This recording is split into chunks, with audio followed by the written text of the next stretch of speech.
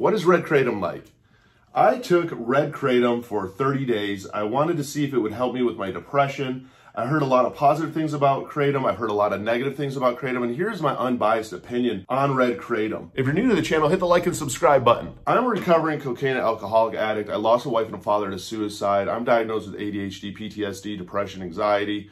I've struggled a lot in life. I've struggled with self-harm. I take meds. One of the meds, though, that I cannot take, and I've trialed and errored it with, are a lot of SSRIs. If you don't know what an SSRI is, a SSRI is Lexapro, Prozac. They're antidepressants. When I tried a lot of these SSRIs, they actually had the reverse effect. They made me suicidal. Now, I'm very, very pro-med, so if you're on those meds and they've helped you, congratulations, awesome. Don't stop taking them. For me and some of the other people out there, though, they don't work.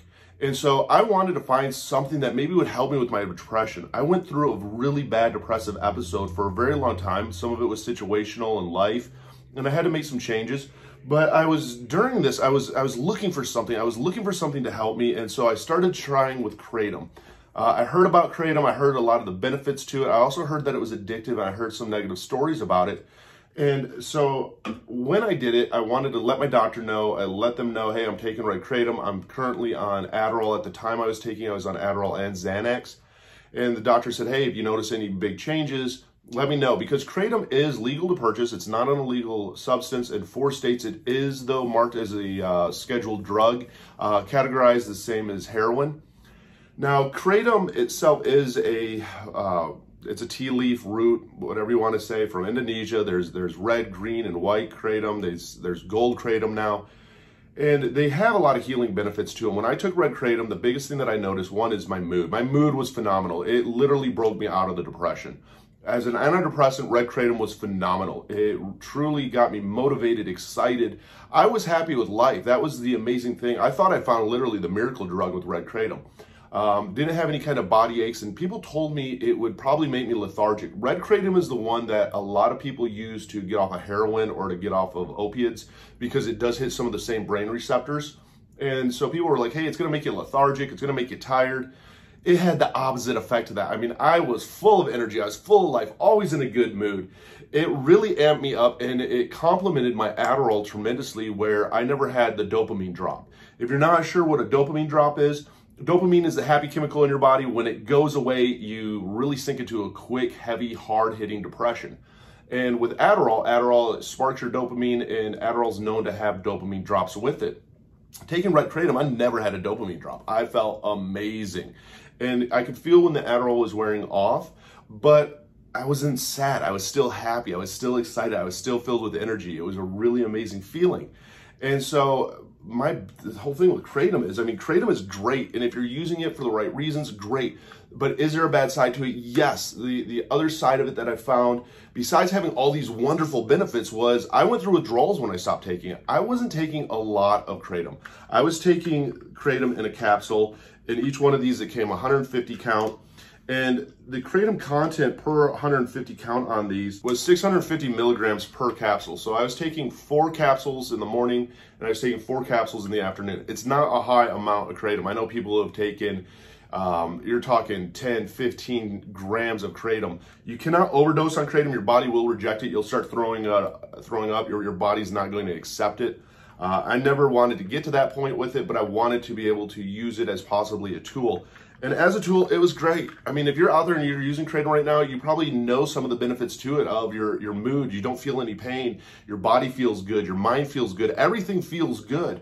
But I have to say that as an addict, when it came to my drug of choice being cocaine and alcohol, going through withdrawals, it's not fun. You realize that your body became dependent on this and you're getting the hot and cold flashes, you're getting the restless legs, you're getting the constipation, you're getting the upset stomach, you're getting the irritability, you're getting the inability to sleep. I mean, it made me insane. For about a week, I went through withdrawals on Kratom. And so it was one of those that you really have to weigh it out if you are willing to risk getting onto something that's going to have withdrawal side effects to it. For me, Personally, I loved Kratom. It was a miracle to me, but the side effects outweighed the benefits because the going through withdrawals, knowing that my body became dependent on this, knowing that I am an addict, it made me worried. I didn't want to become dependent again on something else. Uh, I do see how this can help somebody though even lessen when it comes to any of your withdrawals, when it comes to heroin, when it comes to opiates. I know some people are afraid of methadone, some people are afraid of Suboxone. There's a lot of different tools out there. One of the biggest ones, though, especially if you're trying to get sober and you want to use this as a tool to get sober, which I did not do. I use this as a tool for depression. This was not a tool to get sober by any means or to try and get sober or get off of these different drugs. Um, the thing I could say is, is get the support. Let people know that you're struggling. Let people know that you're an addict. Get with some of the programs out there. Because if you're to go straight this, I mean, this is something that you can easily relapse right back on. I mean, I was I was never a, a, a, heroin or opiate addict. It was never a drug that excited me. Cocaine excited me. Alcohol excited me. And so when I was going through withdrawals of these, I didn't have an urge to use it because I knew what my body was going through. It never gave me a feeling that I was so drawn to that it was like, hey, I got to do this again. Uh, there was one time during, I think it was day two during me detoxing off of this that I did think to myself, hey, I have to do some work. Maybe I should just go buy a bottle and taper off of this. I didn't taper off of it. I didn't think I took enough that I needed to taper off of it. And that's the thing that scares me. That's why my unbiased opinion to it is I'm not a fan of red kratom. My own unbiased opinion is, is if you're, especially as an addict, starting to question, should I taper off of this? There's a problem so I don't see the benefits of the, the antidepressant was good enough for me to say, hey, this is great. Again, I'm never going to bash anything out there. I am very pro medicine. I'm, I'm very pro trial and error. If you microdose and microdosing works, great. Because life is a fight. I mean, I attempted suicide in 2018. So anybody that finds a tool that helps you fight through life, props to you, man. And if this has helped you get sober, this has helped you get sober and awesome. Do you. If you want to learn from my experience, though, for me, Red Kratom is a no-go. Even though it helped me massively with my depression, it did not help when I was starting to get off of this and I went through withdrawals.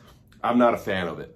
So that's my opinion on Red Kratom. I'd love to know your uh, input. I'd love to hear your comments. Comment down below. Make sure you hit that like and subscribe button. And again, I'm not a doctor. I'm not a counselor. I'm not a therapist. I just like to share from experience to let you know that you matter, to let you know that you're not alone in life. And you pulled yourself out of a lot of dark places. And for that, I'm proud of you. So you don't give up. You matter.